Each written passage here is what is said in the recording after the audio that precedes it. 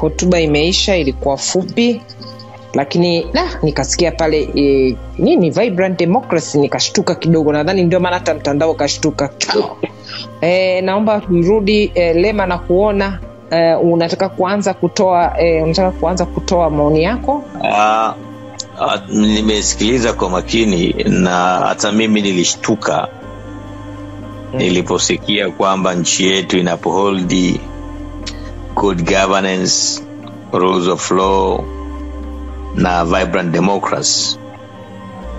Uh, ni muhimu sana watu wanaweza wakasema wakachukia wakasema mm-hmm. kwa nini kwa nini hiyo tuba kwa nini hiyo hotuba imesema hivyo mbele ya watu mbele ya mataifa yote? Ndio.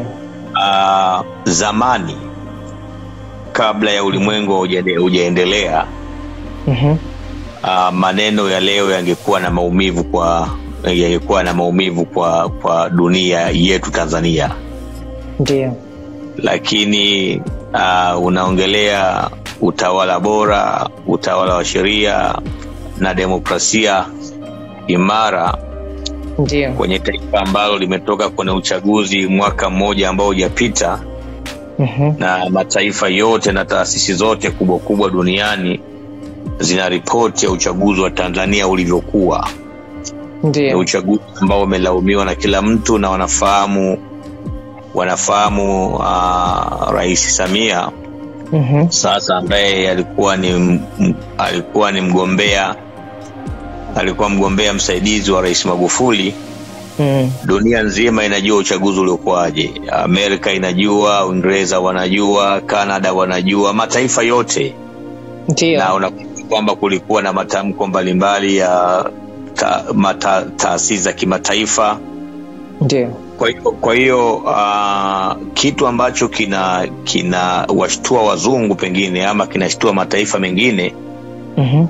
ni, ni confidence ya kudanganya sasa hii unajua hii confidence ya kudanganya ikiweza kubaki tu ndani yetu labda nyumbani tunajua mimi naweza nikasema uongo chumbani kwangu na mke wangu na na watoto tukadanganyana lakini sasa tukianza kufika mpaka mitaani tunaanza kuwa na confidence ya kudanganya ni, ni riski kubwa kwa attitude ya nchi Ndiyo. yaani unasema kwamba uh, taifa ambalo lina embrace vibrant democracy na rules of law na good governance. Eh, nchi ambayo imepiga marufuku shughuli zote za kisiasa. Ndio. Nchi ambayo imepiga marufuku debate zote za kisiasa. Nchi ambayo ina wabunge wa chama chako ambao wameingia kwa unyang'anyi asilimia tisini na tisa pointi tisa tisa tisa. Mm. Ta- nchi ambayo ina councillors wote ambao wameingia kiunyang'anyi nchi ambayo one years back elfu mbili na kumi na tisa mm-hmm. kulikuwa na local government election ulipora uchaguzi. Na kuna statement za mataifa yote makubwa duniani pamoja na taasisi zinazosimamia masuala ya haki za binadamu na utawala bora duniani zimeikondem sana tanzania.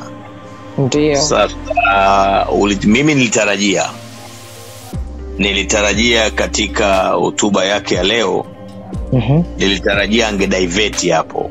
Yaani mimi nilifikiri atadiveti alafu atajikita zaidi kwenye masuala ya covid pamoja na masuala ya kuongelea biashara kama strategy yes ya kuto, kama strategy mimi ndo nilijua hivyo yani kama strategy mm-hmm. sasa inafanya inawafanya hata waliokuwa wanafikiri uh, yani hata, hata wale ambao tulikuwa tunawaambia hii serikali na matatizo mm-hmm. sasa wameyaona wazi kwamba ndio unaweza kusema wameyaona wazi sana kwa hiyo hata tunavyosema kwamba kuna watu wanapewa kesi za uongo kuna watu wanabambikiwa wameconfirm beyond reasonable doubt eh, nilitarajia kwenye hotuba yake ya- kwenye hotuba yake ya leo mm-hmm. nilitarajia waandishi wangekuwa strategic mm. labda angesema pamoja na mambo pamoja na pamoja na changamoto nyingi zinazozipitia katika ukuaji mm. wa kidemokrasia mm-hmm. Lakini nataka niwahakikishie mataifa mbalimbali duniani kwamba tanzania tutajitahidi kumaliza mambo yetu katika meza na kwa usalama mm.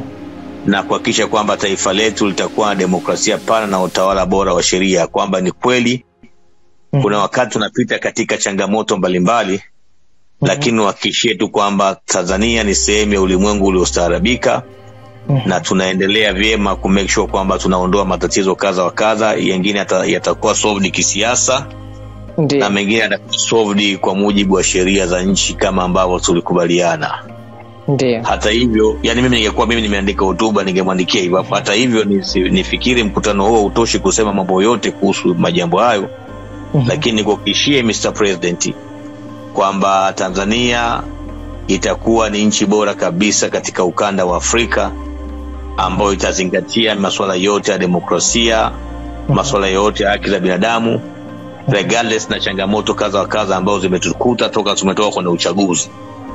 Sasa yani, sasa kwa hiyo kwa hiyo uh, amegatsi ya waandika hotuba mm-hmm. ya kuandika hotuba kama ile, wakamwambia nenda kasome hotuba hii, ndio awa- awasaidii kugilibu ulimwengu, Mhm. ila ulimwengu anaona courage ya confidence ya kusema uongo walionao wa Tanzania. yani tuna courage kubwa sana, na nakumbuka aliyekuwa anasoma hotuba ni rais wa Jamhuri ya Muungano wa Tanzania. Wasiwasi wangu Mm. na hicho kinaniogopesha sana karakta ya nchi Maria inatengenezwa inatengenezwa na karakta ya nchi inatengenezwa na leadership ya na kwenye Yani podi leo- ya mizi ya eh, na ni podium yani leo dreams of America ni wakina Washington wakina Roosevelt. Mm. leo kila kijana wa Amerika anaamini everything is possible. Mm. kwa sababu kwa sababu grandparents wao wali create hizo dreams kwenye podium ndio. Sasa kama kama unadanganya nyumbani kwa for example unaongea vitu nyumbani Mhm. alafu uoni auoni aya kusema mambo hayo katikati ya mataifa yote duniani Mm. maana yake ni kwamba sio tu tunapata adhabu kubwa kwa kutiliwa mashaka na karakta zetu lakini hata maisha ya kawaida watu wataanza kusema watanzania the, the only things watanzania wanaweza wakafanya ni Mhm. kusema uongo bila aibu Mhm. na inajenga sasa ina build ina, wanasema uh, wa Spanish wanasema tabia huwa inaanza kama utando wa buibui lakini inaishia kama kama reli ndio Kwa leo hiyo statement leo hiyo statement mm-hmm. leo Mhm. uh, itakuwa mocked sana especially kwenye eneo leo la utawala bora utawala wa sheria utawala na utawala wa, wa, wa, wa watu wanajua watu wanajua na, na nilitarajia mama mulamula kwa mfano Mhm. Uh, nilitarajia angeweza kusaidia uandishi bora wa hotuba baada ya ku- ku- kuwa amekuja kwenye vikao huku western Ndiyo. sababu ameulizwa maswali ya wale wabunge kumi na tisa -hmm. akakosa utetezi ameulizwa maswali ya ishu ya mwenyekiti mboe ameuliza maswali ya uchaguzi unafahamu kwamba kuna crisis za uchaguzi ya amerika walikuwa wamesema wangeishu kipindi kile baada ya magufuli kuna, Yes. kuna, kuna majina alikuwa listed ya watu ambao kwamba wangetakiwa wawe bandi umelewa ndio kuingia, kuingia usa kuna Ndiyo. watu wametekwa wengi na ripoti ziko kimataifa Eh, hapo tunavyoongea kuna kesi ya hii yani united Nations working group wana kesi ya mwenyekiti mbowe Mhm. sasa ile ile amini hao watu wanafanya kazi katika cycle na Ndiyo. katika cycle na dunia sasa hivi mm. sio dunia ile ya zamani kwa mara ya kwanza tanzania Mhm. ndio mara ya kwanza tanzania rais anahutubia anahutubia un alafu mm-hmm. nje kuna watu wana mabango ya Kweli. kulalamikia operation ya tanzania mm-hmm. kila mtu anajua media iko huru kila mtu anafahamu ku- kuna uh, mimi kilichonishtua ni confidence hiyo ya kusema uongo mkubwa wakati dunia inajua kila kitu ni ni, ni, ni hatari sana eh, uh, ni kwamba credibility yao wameenda kuishusha kwenye jengo ambalo lina nchi lina mkusanyiko wa viongozi wa nchi zote duniani.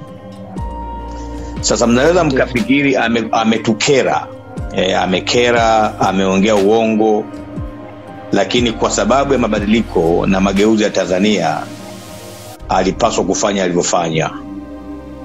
Maria mimi nasoma sana bible. Kuna mahali kwenye biblia wakati mungu anataka kuitoa israeli misri yani, ali, kuna mahali pameandikwa hivi na mungu aliufanya moyo wa farao kuwa mgumu ili apate kuonyesha uwezo wake mbele ya wana wa israeli. Yaani kuna wakati yaani kuna wakati kiburi cha viongozi wanaotaka kutoka madarakani kinakuwa kinatengenezwa ili mungu aonyeshe uwezo na mamlaka yake. Sasa kuna watu wanataka kuvunjika moyo kwamba wanataka kuvunjika moyo. Sasa jamani kama huyu ana confidence ya kuongea yale mambo kule kwenye lile jengo maana yake ni kwamba hakuna hakuna line of silver ya mabadiliko kabisa tanzania